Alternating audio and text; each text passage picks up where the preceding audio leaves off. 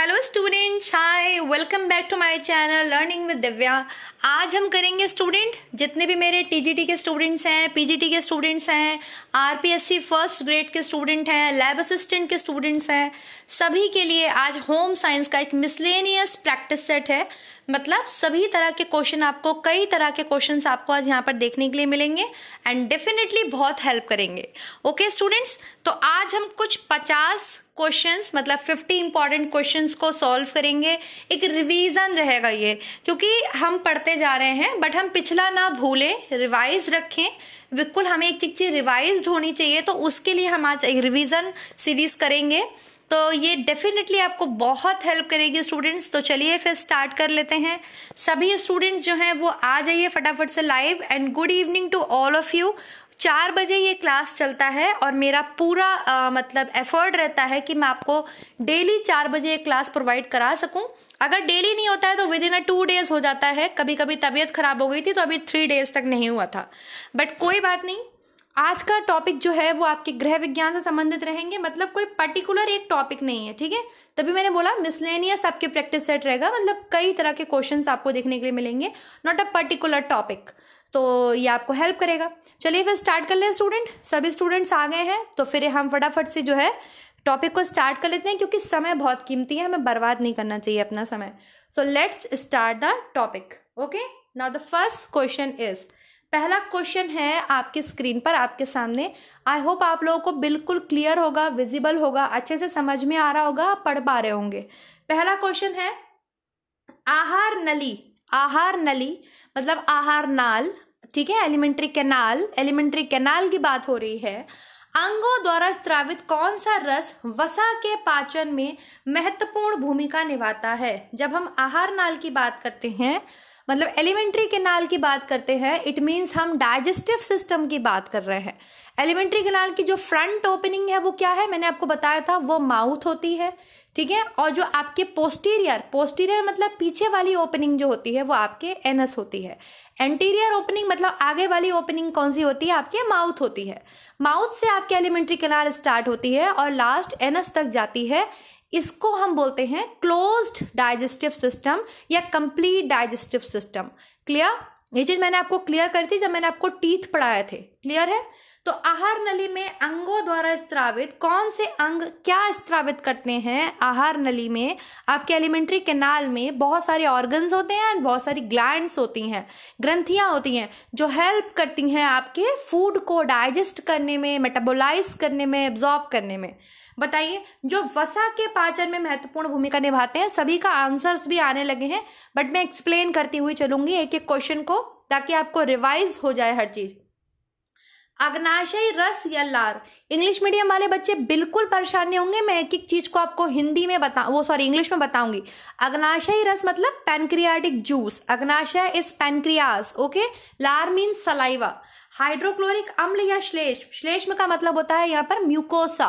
Mucosa जो कि आपके म्यूकस लेयर से सिक्रीट होता है। जब हम आ, मैंने आपको सारी जीआई ट्रैक पढ़ाई थी तो जीआई ट्रैक में मैंने आपको लेयर बताई थी कि सबसे इनर मोस्ट लेयर होती है म्यूकोसा दैन फिर सब म्यूकोसा दैन फिर सिरोसा जो आउटर मोस्ट लेयर है मस्कुलर लेयर होती है जीआई ट्रैक की। जो सबसे बाहरी परत होती है उसका नाम है serosa these are the very important point students जो आपके एग्ज़ाम्स पॉइंट ऑफ़ व्यू से बहुत इंपॉर्टेंट है specially for PGTs and TGTs and lab assistant RPSC सभी के लिए बहुत इंपॉर्टेंट है। या पित्तरस या अग्नाशयी रस पित्तरस मतलब बाइल जूस या अग्नाशयी रस का मतलब वही हो गया पेनक्रियाटिक जूस या फिर लार हाइड्रोक्लोरिक अम्ल हाइड्रोक्लोरिक मतलब आपके एस सी एल तो इनमें से क्या जो है, वसा के पाचन, वसा मतलब फैट्स या लिपिड्स के डाइजेशन में हेल्प करते हैं। वेरी गुड सबका आंसर एकदम ठीक है। ऑप्शन नंबर थ्री पित्तरस और अग्नाशय रस पित्तरस क्या करता है? पित्तरस फैट का इमल्सिफिकेशन करता है। फैट को इमल्सिफाई कर देता है मतलब उसे छोटे छोटे टुकड़ों में तोड़ देता है। क्यों? क्योंकि फैट गुच्छे के फॉर्म में आते हैं। फैट एकदम आपस में जुड़े हुए होते हैं, काफ़ी कॉम्प्लेक्स स्ट्रक्चर होता है। तो पित्तरस ये काम करता है। देन फिर आपके इस पे? अग्नाशयी रस से निकलने वाला लाइपेज एंजाइम काम करता है और वसा का पाचन करता है। क्लियर है?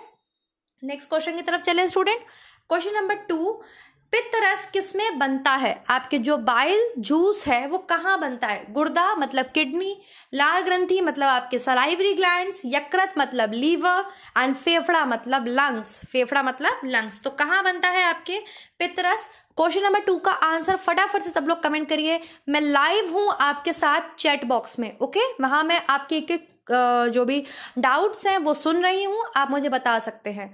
तो पितरस कहाँ बनता है? पितरस आपके लिवर में बनता है। कहाँ बनता है? लिवर में। और स्टोर कहाँ होता है आपके? गॉल ब्लैडर में, जिसे आप बोलते हैं पित्ताशय। क्लियर है? ये तो सभी को पता है। Very good. Question number two का आंसर क्या हो जाएगा? Three. Now the next question is question number three.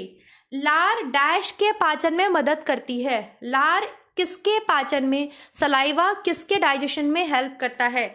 Starch के, फाइबर के, प्रोटीन के या फिर आपके वसा के? बताइए। तो लार आपके वेरी गुड थर्ड का हो जाएगा first starch that is carbohydrates के पाचन में हेल्प करता है। क्लियर है? चलिए नेक्स्ट क्वेश्चन की तरफ़ चलते हैं स्टूडेंट्स क्वेश्चन नंबर फोर की तरफ़ चलते हैं हम। एक सेकेंड क्वेश्चन नंबर फोर मनुष्य के मुख गुहा में निम्न में से किसका पाचन शुरू होता है? मुख गुहा, इसको बकल कैविटी बोलते हैं आपके, या ओरल कैविटी बोलते हैं। Mouth is the interior opening of alimentary canal then इसके अंदर आपके होते हैं buccal cavity buccal cavity have teeth tongue salivary gland ठीक है? बकल कैविटी में क्या क्या होता है आपके? टीथ होते हैं। इसके अलावा आपके जो है टंग होती है देन आपके ग्लैंड्स पाई जाती हैं सलाइवरी ग्लैंड्स पाई जाती हैं। तो इसमें आपके किसका पाचन स्टार्ट हो जाता है? किस न्यूट्रेंट का पाचन स्टार्ट हो जाता है? वेरी गुड सबका आंसर एकदम करेक्ट है। Option number three carbohydrates carbohydrate का पाचन कहाँ से शुरू हो जाता है? तो मुख से शुरू हो जाता है। क्लियर है? नेक्स्ट मैं पूछती हूँ आपसे। फिफ्थ क्वेश्चन पेट द्वारा स्त्रावित, पेट मतलब स्टमक की बात हो रही है यहाँ पर आपके। बलगम की भूमिका क्या है? व्हाट इज़ बलगम? दिस इज़ म्यूकोसा ये म्यूकोसा की ही बात कर रहे हैं। मैंने आपको बताया है कि म्यूकोसा क्या है? एक चिपचिपा पदार्थ होता है जो कि क्या करता है? डायरेक्टली फ़ूड के टच में होता है, जिससे फ़ूड क्या हो जाता है? नम हो जाता है सॉफ्ट हो जाता है, क्योंकि उसमें म्यूकस मिल जाता है। और ये जो म्यूकस है, ये बलगम की तरह ही होता है। एक तरीके से आप समझ लीजिए, जैसे बलगम आपके जुकाम वगैरह में बाहर आता है, इसी टाइप का होता है, ये म्यूकस चिपचिपा पदार्थ होता है। तो जो अगर पेट स्त्रावित कर रहा है, स्टमक में आपके म्यूकोसा का क्या फ़ंक्शन होता है?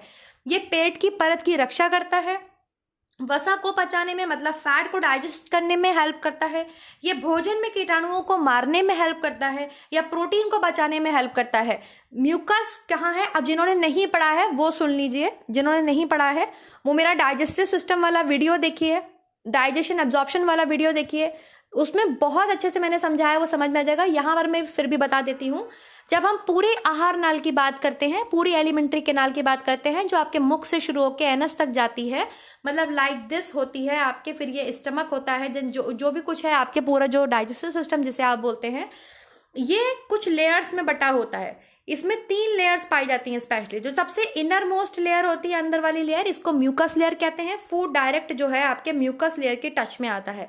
देन जो सेकेंड लेयर होती है, उसको आपके सब म्यूकोसा लेयर बोलते हैं। सब म्यूकोसा लेयर्स में आपके जो वेन्स हैं, जो आर्टरीज हैं, जो तंत्रिकाएँ होती हैं नर्व्स होती हैं, वो प्रेजेंट होती हैं। और जो आउटर मोस्ट लेयर होती है, इसको सिरोसा बोलते हैं। ये मस्कुलर लेयर होती है मसल्स की बनी हुई होती है, मांसपेशियों की बनी हुई होती है। ये आपके जो वो होता है ना पेरिस्टालसिस मूवमेंट लाइक क्रमानुकुंचन गति, जो आपके फ़ूड को पास होने देती है। क्रमानुकुंचन गति समझते हैं आप? मतलब फ़ूड इस गति के थ्रू आगे बढ़ता है। क्रमानुकुंचन गति लाइक कुछ होती है। मैं कैसे यहाँ पर करके बताऊँ? आप समझ सकते हैं, आप जो खाना खाते हैं तो कैसे आपके मुँह से पहुँच गया। तो जीआई ट्रैक क्रमानुकुंचन गति होती है, उसमें पेरिस्टालसिस मूवमेंट होता है, उसमें हेल्प करता है आपका ये मस्कुलर पोर्शन जो आउटर मोस्ट लेयर होती है, इसको सिरोसा बोलते हैं। तो पेट जो बलगम की भूमिका होती है, वो आपकी हो जाती है, जिसने भी ऑप्शन नंबर वन किया है वेरी गुड पेट की परत की रक्षा। अगर स्पेशली आपके पेट या स्टमक में पूछा जाता है कि म्यूकोसा लेयर क्या करती है तो वो आपके जो स्टमक की लेयर है, उसको रक्षा प्रदान करती है। किससे रक्षा प्रदान करती है? एससीएल से।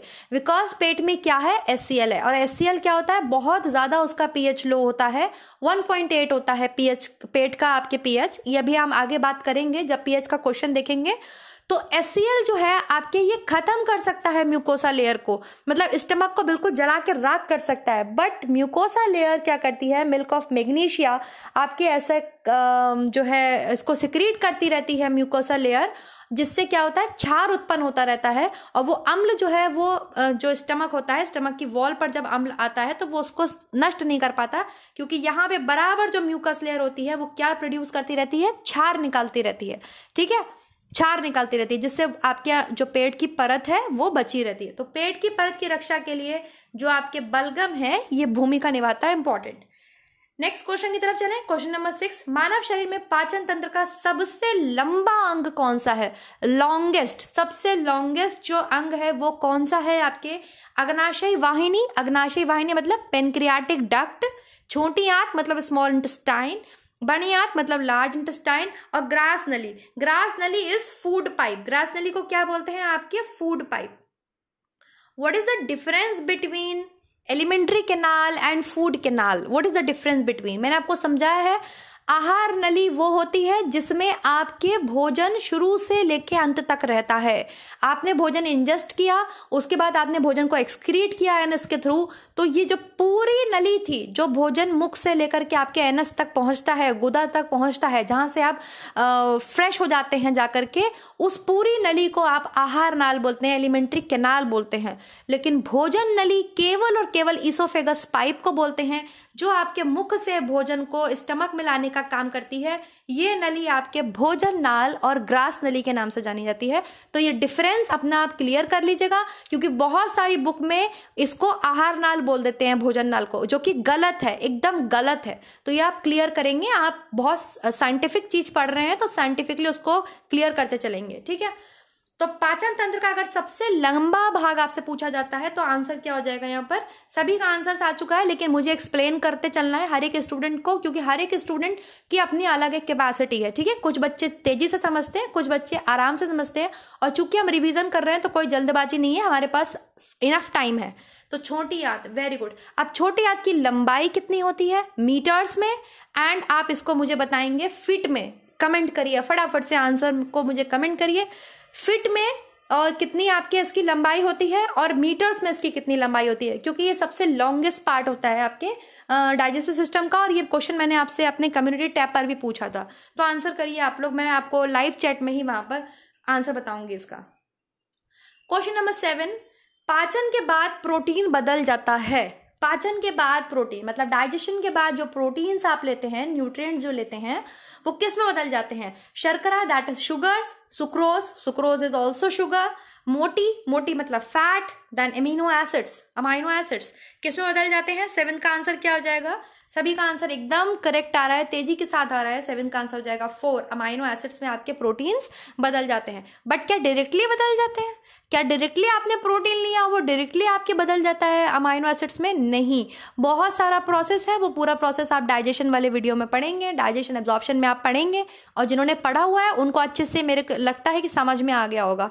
ठीक है? अगर मैं यहाँ पर ये क्वेश्चन पूछ लूँ आपके पाचन के बाद प्रोटीन किसमें बदलता है? यहाँ पर मैं अमाइनो एसिड्स लिखती यहाँ पर मैं लिखती आपके आ, पेट में पाचन के बाद ठीक है? पेट में पाचन के बाद प्रोटीन बदलता है। अमाइनो एसिड्स दूसरा मेरा क्वेश्चन ऑप्शन है आपके पेप्टाइड पेप्टाइड्स ठीक है? और दूसरा है आपके सुक्रोज और शर्करा। चलिए किसमें बदलेगा आपके? किसमें बदलेगा आपके? अगर मैं पेट में आपसे बात करूँ, पेट में आपके जो है प्रोटीन का पाचन स्टार्ट होता है, डाइजेशन आपके प्रोटीन का पेट से स्टार्ट होता है। क्यों? क्योंकि मुख में और आपके ईसोफेगस में तो किसी का पाचन नहीं होता, ग्रास नली में। क्योंकि मुख में आपके प्रोटीन को पचाने के लिए कोई भी एंजाइम नहीं होता। दैट्स वाई प्रोटीन का पाचन आपके मुख में होता ही नहीं है। कार्बोहाइड्रेट्स के लिए एंजाइम प्रेजेंट है टाइलिन। दैट्स वाई वहाँ पर आपके कार्बोहाइड्रेट का पाचन होता है। हाँ तो अगर पेट में पूछती हूँ मैं तो पाचन के बाद प्रोटीन आपके पेप्टाइड्स में बदल जाता जाते हैं पैप्टोन्स में बदल जाते हैं डायरेक्टली अमीनो एसिड्स में नहीं बदलते। अमीनो एसिड्स में बदलते हैं वो आपके स्मॉल इंटेस्टाइन में जाकर के। क्लियर है? Next question question number eight हमारे दैनिक भोजन में जो हम डेली डाइट लेते हैं, उसमें फाइबर की बहुत आवश्यकता होती है किसके लिए? बताइए फाइबर फाइबर की बात कर रहे हैं यहाँ पर ये फाइबर फाइबर मतलब रेशा, ठीक है? जो कि हमें लेना बहुत ज़रूरी है, बहुत ज़रूरत होती है इसकी। क्यों? क्योंकि ये हमें अतिरिक्त प्रोटीन प्रदान करता है, क्योंकि ये अग्नाशय द्वारा स्त्रावित इंसुलिन को बैलेंस करता है। जो आपके पेंक्रियाज है, वो इंसुलिन को सिक्रिएट करता है, उसको बैलेंस करता है फाइबर। या हमारे शरीर को जो अपचीय भोजन है मतलब जो भोजन हमारे शरीर में डाइजेस्ट नहीं हो पाता, उसको छुटकारा पाने के लिए मदद करता है, या थकान को कम करने के लिए फाइबर हमारी बॉडी में हेल्प करता है। हमारी बॉडी में फाइबर किसके लिए हेल्प करता है? सबका आंसर ठीक है। ऑप्शन नंबर थ्री हमारे शरीर में जो अपचिनीय भोजन है एक्चुअली ये सारे क्वेश्चंस मैंने टेलीग्राम पर भी कराए हुए हैं। जिन बच्चों ने टेलीग्राम पर नहीं कर पाए हैं जो नहीं ज्वाइन कर पाए हैं वो यहाँ भी इसे कर सकते हैं ओके ऐसे फ़ूड मटेरियल्स जो डाइजेस्ट नहीं होते इसके अलावा जो फाइबर है ये हमारी बॉडी में आ, स्टूल को बल्क प्रोवाइड करता है मतलब भार प्रोवाइड करता है। स्टूल मतलब आपकी पॉटी जो है, उसको भार प्रोवाइड करता है, जिससे वो इजीली हमारी बॉडी से निकल जाए। खुद फाइबर भी हमारी बॉडी में डाइजेस्ट नहीं होता, लेकिन ये बहुत इंपॉर्टेंट है ऐसे पदार्थों को हमारे शरीर से बाहर निकालने के लिए, जो हमारे शरीर में डाइजेस्ट नहीं हो रहे हैं, खाली पड़े हैं तो उन्हें ये साथ में लेके बाहर निकल जाता है। और आपको ये कहाँ से मिलेगा? आप हरी पत्तेदार सब्ज़ी खाइए like GLVs green leafy vegetables आप कुकुम्बर खाइए, आप केला खाइए, जिनमें भी फाइबर बहुत ज़्यादा प्रेजेंट होता है, वो ज़रूर खाने चाहिए और डेली डाइट में शामिल करने चाहिए। Now the next question is question number nine मानव शरीर में प्रोटीन का पाचन किस अंग से शुरू होता है? किस ऑर्गन से आपके प्रोटीन का पाचन स्टार्ट होता है? अभी हमने बात करी थी, आपको पता भी है। कहाँ से शुरू होता है आपके? जिगर, मुँह, छोटी आंत, पेट। जिगर इज़ लिवर ठीक है? लिवर को ही बोलते हैं ना जिगर। मुँह माउथ छोटी आंत स्मॉल इंटेस्टाइन पेट मतलब स्टमक तो पेट से। पेट से जो है आपके प्रोटीन का पाचन स्टार्ट होता है। सभी का आंसर ठीक है। क्वेश्चन नंबर टेन का आंसर बताइए। लार में युक्त पाचक एंजाइम, लार युक्त अमाइलेज से किसका पाचन शुरू होता है? लार लार कहाँ होती है? मुँह में होती है। मुँह में सलाइवा होती है। सलाइवा से किसका पाचन स्टार्ट होता है? तो कार्बोहाइड्रेट्स स्टार्च का पाचन स्टार्ट होता है। स्टार्च किसमें टूट जाता है? माल्टोस में टूट जाता है, ठीक है? देन फिर माल्टोस बॉडी में जाके किसमें टूटते हैं? ग्लूकोज प्लस ग्लूकोज में। माल्टोस जब टूटते हैं तो क्या यूनिट निकलती है आपके? ग्लूकोज प्लस ग्लूकोज समझ में आ रहा है ना? तो यहाँ पर आपके आंसर क्या हो जाएगा? Very good option number one carbohydrates question number eleven निम्नलिखित में से कौन सी कोशिका मानव आमाशयी ग्रंथियों में मौजूद होती है? इनमें से कौन सी सेल्स अगर जिसने भी मेरे से डाइजेस्टिव सिस्टम पढ़ा है तो उसने मेरे से स्टमक की सेल्स पढ़ी होंगी। Goblet cells chief cells parietal cells G cells पढ़ी होंगी ना म्यूकोसा नेक सेल्स तो वो इसका आंसर कर पाएगा। निम्नलिखित में से कौन सी कोशिका सेल्स मानव की अमाशयी ग्रंथि अमाशयी ग्रंथि मतलब आपके अमाशयी स्टमक ग्लैंड्स में प्रेजेंट होती हैं। स्टमक में ग्लैंड्स होती हैं ना आपके जठर ग्रंथि जिसे आप बोलते हैं, और स्टमक में आपके कौन सी सेल्स प्रेजेंट होती हैं, वो आप बताएँगे। तो ऑप्शन हैं, श्लेष्मा गले की कोशिकाएँ। श्लेष्मा गले की कोशिकाएँ मतलब ये गले की नहीं बात कर रहे हैं, ये म्यूकस नेक सेल की बात कर रहे हैं। किसकी बात कर रहे हैं? म्यूकस नेक सेल मैंने आपको बताया था, इस तरीके से स्ट्रक्चर होता है, और उसमें जो है अलग अलग सेल्स प्रेजेंट होते हैं यहाँ पर। अभी मैं दिखाऊँगी इसका पिक्चर दूसरा है आपके पाचक या मुख्य कोशिकाएँ पाचक या मुख्य कोशिकाएँ मतलब इसको चीफ सेल्स बोलते हैं इंग्लिश में। चीफ सेल्स चीफ सेल्स और डाइजेस्टिव सेल्स। पार्शिक या अम्लजन कोशिकाएँ पार्शिक मतलब पराइडल सेल्स। इंग्लिश में क्या बोलेंगे? पराइडल सेल्स या जो आपके एसिड सिक्रिएट करती हैं, अम्लीय सेल्स। ये होती हैं। या केवल श्लेष्मा गले की कोशिकाएँ होती है मतलब म्यूकस नेक सेल होती हैं, पाचक या मुख्य कोशिकाएँ होती हैं, या पाचक या मुख्य कोशिकाएँ पार्श्विक की आम्ल कोशिकाएँ होती हैं, या केवल श्लेष्मा गले की कोशिकाएँ होती हैं? केवल श्लेष्मा गले की कोशिकाएँ मतलब केवल म्यूकस नेक सेल होती हैं। फटाफट से आंसर करिए। जिन्होंने ये क्वेश्चन का आंसर सही किया इट मीन्स वो सही से पढ़ाई कर रहे हैं। मेरे अकॉर्डिंग जो मैं पढ़ा रही हूँ, वो ये सही से पढ़ रहे हैं। ठीक है? क्योंकि आपके पीजीटी में तो पूछा जाता है साफ़। आपसे पीजीटी में आ, ये पूछी गई है गॉबलेट सेल्स कहाँ होती है ब्रूनर ग्रंथि कहाँ होती है टीजीटी में भी पूछ सकते हैं कोई भरोसा थोड़ी है। एग्जामिनर है और पाचन तो आपके डाइजेशन तो आपके सिलेबस में है। जिसने भी आंसर किया है ऑप्शन नंबर वन वो बिल्कुल करेक्ट है। ठीक है? चलिए आप जिन्होंने नहीं पढ़ा है वो एक बार देखेंगे। जब हम बात करते हैं हमारे स्टमक की बात करते हैं तो हमने पढ़ा है कि तीन लेयर्स होती है हमारे पूरे जीआई ट्रैक में mucus layer submucous layer then serosa layer ठीक है? कई बार मैं आपको बता चुकी हूँ। जब हम पेट के अंदर आ जाते हैं तो बहुत सारी सेल्स पाई जाती हैं, बहुत सारी सेल्स हमारे म्यूकस लेयर में पाई जाती हैं। तो जो सबसे अपर मोस्ट जो आपके होती हैं, ये वाली, इसको बोलते हैं म्यूकस नेक सेल या फिर आपके गॉबलेट सेल गॉबलेट सेल ये क्या सिक्रेट करती हैं ये कोशिकाएँ ये कोशिकाएँ म्यूकस सिक्रेट करती हैं। वही जो बलगम है, जो फ़ूड को गीला बनाए रखता है पूरे जीआई ट्रैक को मॉइस्ट बना के रखता है नम बना के रखता है, जिससे कि फ़ूड आपका पथरीला ना हो जाए, कंकड़ जैसा ना हो जाए नम रहे, क्योंकि अंदर के ऑर्गन बहुत सॉफ्ट होते हैं, उसमें बोन्स नहीं होती हैं, ठीक है? केवल मस्कुलर ऑर्गन्स होते हैं। तो ये जो म्यूकस है, ये आपके बराबर आपके मुँह में लार बना रहता है, बराबर आपके जो है गीला बना रहता है मुँह तो ये म्यूकस लेयर म्यूकस सिक्रेट करती रहती हैं, ठीक है? लार तो खैर सलाइवरी ग्लैंड सिक्रेट करती हैं। पराइटल सेल्स मोस्ट इंपॉर्टेंट आप याद रख लीजिए इसको, समझ लीजिए जो पराइटल सेल्स होती हैं, जो ऑरेंज कलर की सेल्स हैं पराइटल सेल्स ये आपके हाइड्रोक्लोरिक एसिड पेट में आपके एस जो होता है, उस एस को सिक्रेट करने का काम पराइटल सेल्स करती हैं. इसको पराइटल सेल्स या आपके ऑक्जेंटिक सेल्स भी बोलते हैं. क्या बोलते हैं? पराइटल सेल्स या ऑक्जेंटिक सेल्स ये दो नाम है इसके. हिंदी में इसको पार्श्विक कोशिकाएँ बोलते हैं. क्या बोलते हैं? पार्श्विक कोशिकाएँ. ये एस को सिक्रेट करती हैं हाइड्रोक्लोरिक एसिड को सिक्रेट करती हैं पराइटल सेल्स फिर होती है चीफ सेल्स चीफ सेल्स को आप बोलते हैं हिंदी में मुख्य कोशिकाएँ. मुख्य कोशिकाएँ इसलिए बोलते हैं क्योंकि ये प्रोटीन के पाचन के लिए पेप्सिनोजन को सिक्रेट करती हैं and the pepsinogen convert into pepsin pepsinogen पहले निकलता है, फिर इस पे एस वर्क करता है दानी कन्वर्ट होता है पेप्सिन में देन फिर पेप्सिन आपके तोड़ता है प्रोटीन को पॉलीपेप्टाइड्स में या पेप्टाइड्स में. समझ में आ रहा है? क्लियर हो रहा है कि नहीं हो रहा है? कई बार समझा चुकी हूँ. एंड आपके डी सेल्स होती हैं. डी सेल्स मैंने आपको बताया था, पेट में आपके एक इंट्रेंसिक फैक्टर निकलता है, जो कि आपके विटामिन बी ट्वेल्व के एब्जॉर्प्शन के लिए बहुत ज़रूरी होता है। विटामिन बी ट्वेल्व के एब्जॉर्प्शन के लिए इंट्रेंसिक फैक्टर कहाँ से निकलता है? अमाशय की डी सेल से निकलता है, ठीक? और लास्ट वन होती हैं आपके जी सेल जो कि आपके येलो कलर की ये दिख रही हैं। ये जी सेल इन्हें आपके गैस्ट्रिन बोलते हैं गैस्ट्रिन या गैस्ट्रिक सेल्स बोलिए आप इसको, जो कि क्या करती हैं? इन सबको स्टिमुलेट करने के लिए ये गैस्ट्रिन निकलता है पहले। एसिड ऐसा सिक्रेट करता है कि ये सारी सेल्स अपना काम करना शुरू कर दें। इसके लिए गैस्ट्रिन बहुत ज़रूरी होता है। जैसे ही आप फ़ूड को देखते हैं, आपने फ़ूड को देखा, आपके मुँह में सलाइवा आने लगता है। तब ठीक है, अगर आपने बढ़िया आपने मनपसंद खाना देख लिया, आपके मुँह में सलाइवा आने लगता है जैसे ही आपके मुँह में सलाइवा आने लगता है तो पेट में ये गैस्ट्रिन काम करने लगता है कि भैया शुरू हो जाओ। अब मुँह में सलाइवा आ गया इट मीन्स खाना आने वाला है। तो ये सारी सेल्स जो हैं अपना अपना काम करने लगती हैं। इनको काम करने के लिए कौन स्टिमुलेट करता है, कौन उकसाता है? जी सेल्स गैस्ट्रिन क्लियर है? तो ये आपके समझ में आ गया? कौन कौन सी कोशिकाएँ पाई जाती हैं? हिंदी में श्लेष्मा गले की कोशिकाएँ दैट इज़ गॉबलेट सेल इसको म्यूकस नेक सेल्स भी बोलते हैं। चलिए, आगे चलते हैं। क्वेश्चन नंबर ट्वेल्व की तरफ़, निम्नलिखित में से कौन सी ग्रंथि इंसुलिन का उत्पादन करती है? मतलब इंसुलिन के प्रोडक्शन में कौन सी ग्लैंड हेल्प करती हैं? और शरीर में शर्करा के चपाप चय के लिए मुख्य हार्मोन है। मतलब शरीर में जो आपके ग्लूकोज है, उसके मेटाबॉलिज्म के लिए बहुत इंपॉर्टेंट है। तो सबका आंसर एकदम आना चाहिए। अग्नाशय, यकृत, लाल ग्रंथि आँच की ग्रंथियाँ।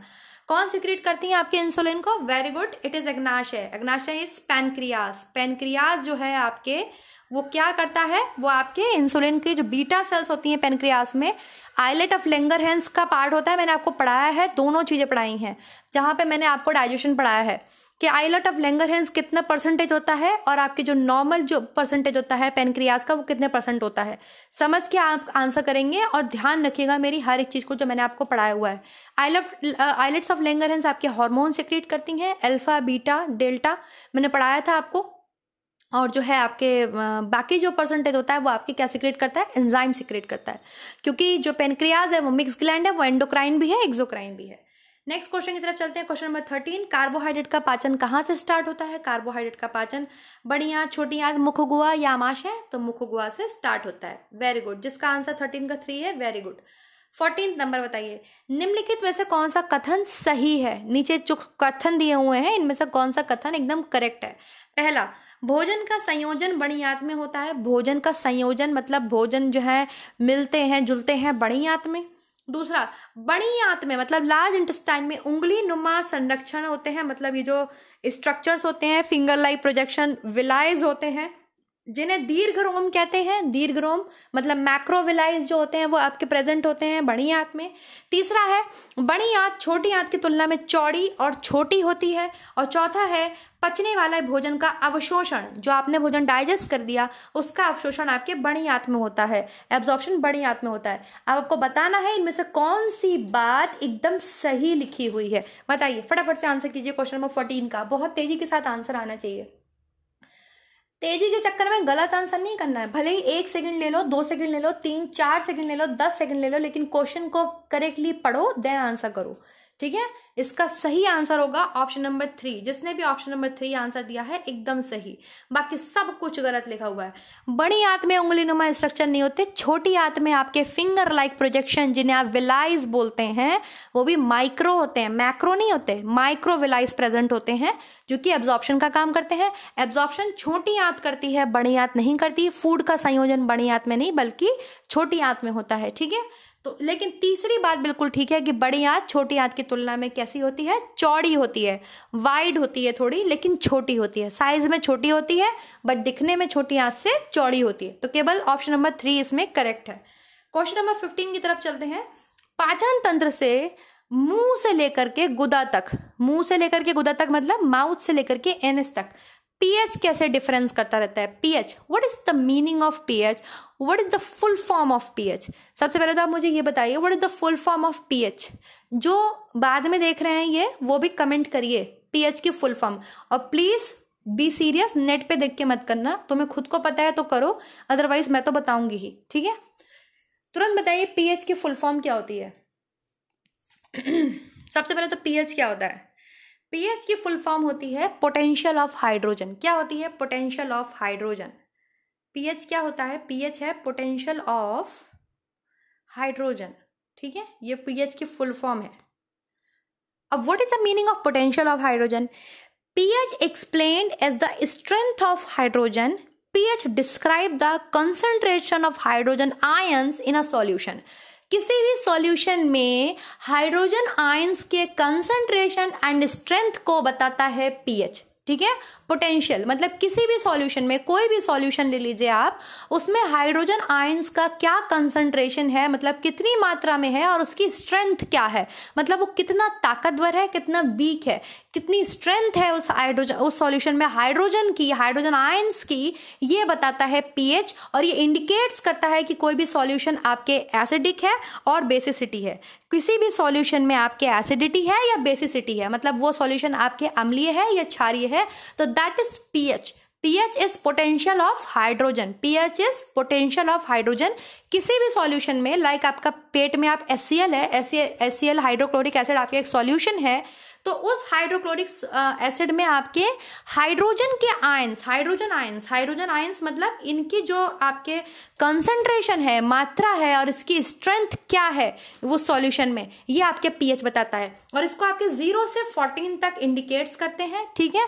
सातवें नंबर पे, अगर सेवन नंबर पे आ जाते हैं तो सातवें नंबर पे आपके न्यूट्रल होता है। कोई भी सॉल्यूशन का अगर पीएच सात आ रहा है तो इट मीन न्यूट्रल सात से जितना नीचे जाएँगे सॉल्यूशन उतना एसिडिक होता चला जाता है। और सात से जितना आप ऊपर जाएँगे सॉल्यूशन उतना ही क्षारीय होता चला जाता है। तो अम्लीय क्षारीय कैसे पता चलता है? Concentration of hydrogen ions hydrogen ions की क्या कंसंट्रेशन है सॉल्यूशन के अंदर? कंसंट्रेशन मतलब मात्रा और उसकी स्ट्रेंथ स्ट्रेंथ मतलब ताकत कैसी है? समझ में आ गया? That is potential of hydrogen तो जब हम अपने डाइजेस्टिव सिस्टम की बात करते हैं और मैंने आपको पढ़ाया था कि मुख में अलग पीएच होता है पेट में अलग पीएच होता है एंड स्मॉल इंटेस्टाइन में अलग पीएच होता है तो बताइए कैसे कैसे पीएच वेरी होता है पहले आपके अम्लीय होता है क्षारीय होता है फिर क्षारीय हो, अम्लीय होता है बताइए देन आपके जो है एसिड होता है क्षारीय होता है फिर अम्लीय होता है या अम्लीय होता है क्षारीय होता है या क्षारीय होता है अम्लीय होता है समझ के बताइएगा आंसर कीजिएगा पीएच तो अगर आपने पढ़ा होगा डाइजेशन मेरे से मैंने जैसे पढ़ाया है आपको तो सबसे पहले अगर हम बात करें मुख की, क्योंकि स्टार्टिंग कहाँ से होती है? मुख से स्टार्टिंग होती है। मुँह में क्या है? लार है। तो जो पीएच होता है लार का, वो होता है 6.8 कितना होता है? 6.8 and this is according to the NCERT मैं एनसीईआरटी को बेस मानती हूँ हर चीज़ का, क्योंकि वो एक बहुत बड़ा प्रूफ है हमारे पास। एनसीईआरटी को कोई नहीं नकार सकता, ठीक है? तो ये अकॉर्डिंग टू एनसीईआरटी पढ़ाऊँगी मैं आपको। डाइजेशन मैंने इसी के अकॉर्डिंग पढ़ाया हुआ है। तो हमारे मुख में जब फ़ूड जाता है तो जो पीएच होता है सलाइवा का, वो सिक्स पॉइंट एट होता है। फिर फ़ूड आपके आता है, कहाँ आता है? पेट में। वहाँ पीएच होता है वन पॉइंट एट मतलब सो एसिडिक क्योंकि वहाँ पे क्या है आपके? हाइड्रोक्लोरिक एसिड है, ठीक? और मैंने आपको बताया है कि एसिडिक फ़ूड पे स्मॉल इंटेस्टाइन काम नहीं करती। वो तो करती है क्षारीय पे काम। भैया, वो जल के गल जाएगी, वो क्षारीय फ़ूड पे काम करती है। क्षारीय बनाने का काम कौन करता है? फ़ूड को। कोली सिस्टोकाइनिन पढ़ाया था ना मैंने आपको? और आपके सिक्रेटिन जो आपके अमाशय से निकालते हैं, बाइल से निकालते हैं, और फिर आपके फ़ूड को एल्कलाइन बनाते हैं तो पीएच हो जाता है आपके सेवन पॉइंट एट। ये है पीएच का लेवल, ठीक है? तो ऊपर पीएच क्या है आपके? Six point eight and one point eight that अम्लीय, एसिडिक है एसिडिक है पीएच, ठीक है? जो क्षार, जो लार होती है, उसका पीएच थोड़ा सा स्लाइटली एसिडिक होता है, वरना तुम अपनी लार को अपने हाथ पे लगाओ, जल जाएगा हाथ। ऐसा नहीं होता है कि लार को आपने उंगली पे लगाया, आपकी जीप जल के राख हो जाएगी, अगर ज़्यादा एसिडिक हो गया तो। ठीक है? लेकिन जैसे पेट में आते हैं, पीएच क्या हो जाता है? 1.8 क्योंकि वहाँ पे हाइड्रोक्लोरिक एसिड है, सोचो किस तरीके से म्यूकस लेयर ने आपके आंत को बचा के रखा हुआ है, आपके स्टमक को बचा के रखा हुआ है। सॉरी आंत नहीं स्टमक को बचा के रखा हुआ है। कितना वो काम करती हैं। तभी कहते हैं ज़्यादा मिर्च मसाला, तेल, तला भुना, ज़्यादा जो आपके एसिडिक फ़ूड होते हैं, उन्हें नहीं खाना चाहिए, क्योंकि वो एसिडिटी को बढ़ाते हैं। देन फिर आपके पीएच होता है क्षारिय that is seven point eight तो पीएच कैसे वेरी करा? हमारे पाचन तंत्र में मुँह से लेके गुदा तक। ऑप्शन नंबर थ्री अम्लीय और क्षारिय। इसको समझ के आंसर करिएगा। रट के नहीं। मेरी क्लास में रटने वाले तो बिल्कुल दफ़ा हो जाए मेरी क्लास से। बिल्कुल समझ के जो आंसर करेंगे। और क्यों अम्लीय होता है? मुँह में पीएच अम्लीय क्यों है? पेट में पीएच अम्लीय क्यों है? इसका रीजन भी तो आपको पता होना चाहिए। क्योंकि जब हमने पढ़ा है, जब हम फ़ूड लेते हैं तो कुछ माइक्रो ऑर्गेनिज्म हमारे फ़ूड से, हमारे मुँह के थ्रू आ जाते हैं। तो सबसे पहले तो उसे लाइजोजाइम मारते हैं, जो कि लार में प्रेजेंट होते हैं। और वो वर्क कैसे कर पाते हैं? क्योंकि पीएच क्या है? थोड़ा सा अम्लीय है सिक्स पॉइंट एट है। ठीक? फिर अगर तब भी नहीं मर पाए वो माइक्रो ऑर्गेनिज्म और वो आपके पेट में आ गए तो उन्हें एससीएल का एससीएल का काम होता है। एससीएल के दो काम होते हैं आपके पेट में हाइड्रोक्लोरिक एसिड के। पहले तो ये आपके पेप्सिनोजन को पेप्सिन में कन्वर्ट करता है, जो कि प्रोटीन के वाचन के लिए ज़रूरी है। दूसरा, ये आपके कीटाणुओं को मारता है। अगर फ़ूड में कोई कीटाणु आ गए हैं तो एससीएल उनको ख़त्म करता है। इसलिए भी यहाँ पे पीएच कैसा होता है आपके बहुत एसिडिक होता है, ठीक है? लेकिन कुछ बैक्टीरिया इतने ज़्यादा स्ट्रांग होते हैं जो इनमें भी सर्वाइव कर जाते हैं और फिर वो बीमारी कॉज करते हैं। इनमें इतनी ताकत नहीं होती कि ये हर तरीके के बैक्टीरिया को मार सकें। क्लियर हो गया? समझ में आ गया? और फिर पीएच कैसा हो जाता है? जब हम छोटी आदमी में फ़ूड उतर जाता है तो पीएच हो जाता है आपके seven point eight seven point eight है, इसका मतलब क्षारीय है। तो पहले पीएच अम्लीय होता है, फिर पीएच क्षारीय होता है। क्लियर हो गया है क्वेश्चन नेक्स्ट क्वेश्चन की तरफ़ चले question number sixteen and what is the meaning of P H what is the full form of P H समझ में आ गया? सबको समझ में आ गया और सब नोट डाउन करते चलेंगे। मेरी क्लास में आप कॉपी पेन लेके बैठेंगे, रटने के लिए नहीं, समझने के लिए। क्वेश्चन नंबर सिक्सटीन पाचन तंत्र का कौन सा हिस्सा अनपचे खाद्य पदार्थों में से जल और कुछ लवड़ों के अवशोषण में सहायता करता है? पाचन तंत्र का ऐसा कौन सा हिस्सा है जो आपके अनपचे ऐसे फ़ूड प्रोडक्ट्स हैं जो बॉडी में डाइजेस्ट नहीं हुए, लेकिन उससे वाटर को एब्जॉर्ब कर लेता है और कुछ आपके मिनरल्स को एब्जॉर्ब कर लेता है। ये कहाँ होता है? वाटर का एब्जॉर्प्शन जो है आपके बड़ी आंत में होता है। किसमें होता है? लार्ज इंटेस्टाइन में। किसमें होता है आपके? लार्ज इंटेस्टाइन में। तो इसका आंसर क्या हो जाएगा? Option number two question number seventeen अमाशय की दीवार, अमाशय मतलब स्टमक समझ के चलेंगे। अमाशय की दीवार में उस परत का नाम बताइए। परत मतलब लेयर का नाम बताइए, जिसमें तंत्रिकाएँ और रक्त वाहिनियाँ प्रेजेंट होती हैं, रक्त वहिकाएँ प्रेजेंट होती हैं। तो जब हमने लेयर्स की बात करी थी, पूरे जीआई ट्रैक की लेयर्स की बात करी थी गैस्ट्रोइंटेस्टाइनल ट्रैक की बात करी थी एलिमेंट्री कैनाल की बात करी थी तो मैंने आपको बताया था, मुख्य तीन लेयर से बना होता है। Mucosa layer sub mucosa layer, serosa layer. Mucosa layer में बहुत सारी सेल्स प्रेजेंट होती हैं। अलग अलग जगह पे अलग अलग सेल्स होती हैं अलग अलग काम करती हैं, सब कुछ मैंने आपको बताया था। लेकिन मैंने आपको बताया था जो सब म्यूकोसा लेयर होती है, जो मिडल लेयर होती है सब म्यूकोसा लेयर, इसी में आपके ब्लड वेसल्स होती हैं, तंत्रिकाएँ प्रेजेंट होती हैं। ठीक है? समझ में आ रहा है ना? तो सब म्यूकोसा लेयर को हिंदी में आपके क्या बोलते हैं? उपश्लेष्मा। क्या बोलते हैं? उपश्लेष्मा। श्लेष्मा को लिखिए आप हिंदी में, इंग्लिश में लिखिए म्यूकोसा लेयर। ठीक है? इंग्लिश वाले भी लिखेंगे, हिंदी वाले भी लिखेंगे। Mucosa layer is called in Hindi श्लेष्मा। श्लेष्मा is called in English mucosa layer. Okay? दूसरी लेयर होती है आपके सब म्यूकोसा दैट इज़ उपश्लेष्मा। हिंदी वाले लिख लीजिए। उपश्लेष्मा को लिखेंगे सब म्यूकोसा लेयर। इंग्लिश वाले लिखेंगे सब म्यूकोसा को हिंदी में बोलते हैं उपश्लेष्मा। ठीक है? और जो लास्ट आउटर मोस्ट लेयर होती है, वो होती है आपकी पेशीय श्लेष्मा, उसको बोलते हैं मस्कुलर म्यूकोसा लिखिए मस्कुलर म्यूकोसा इसका नाम होता है आपके सिरोसा क्या नाम होता है? सिरोसा जो आउटर मोस्ट लेयर होती है, इसका नाम होता है आपके serosa that is muscular mucosa muscular mucosa clear हो गया? तीनों लेयर के नाम क्लियर हो गए। लेमनिया प्रोप्रिया जो है, ये आपके, ये स्मॉल इंटेस्टाइन की जो लेयर्स होती हैं स्मॉल इंटेस्टाइन में भी जो आपके विलाय होते हैं ना, विलाय, विलायज में जो एपिथिलियम लेयर होती है, उसके अंदर लैमनिया प्रोप्रिया लेयर होती है, ये बात ध्यान रखिएगा। स्मॉल इंटेस्टाइन में ये जो विलाय पाए जाते हैं हेयर लाइक प्रोजेक्शन ये बात ध्यान रखिएगा। हेयर लाइक या फिंगर लाइक प्रोजेक्शन उंगली की तरह संरचना होती है इनकी विलाइज की, जो आपके न्यूट्रिएंट को एब्जॉर्ब करते हैं। तो इसमें आपके लेमनिया प्रोप्रिया लेयर पाई जाती है, ठीक है? सबसे आउटर मोस्ट लेयर होती है, इसके एपिथेलियम लेयर इसके अंदर होती है लेमनिया प्रोप्रिया ये सब मैंने पढ़ाया हुआ है। क्लियर हो गया?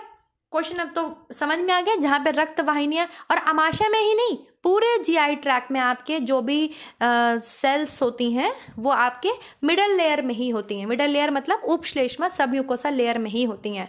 तंत्रिकाएँ और आपके ये जो होती हैं क्या बोलते हैं, रक्त वाहिनियाँ। क्लियर है? क्वेश्चन नंबर एटीन वसा का कंप्लीट डाइजेशन कहाँ होता है? फैट्स फैट्स कंप्लीटली कहाँ डाइजेस्ट होते हैं आपके बॉडी में जाके?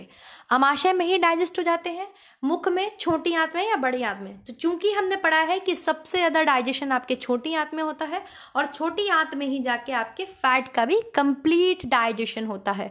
क्योंकि छोटी आंत में जब फैट आ जाता है, तभी फिर उस पर काम करता है आपके biles biles bile salt bile काम करता है। आप हमेशा ध्यान रखिएगा ये आपके स्ट्रक्चर है, ठीक है? मान लीजिए ये आपका स्टमक है और फिर आपके ये सी लाइक प्रोजेक्शन होता है।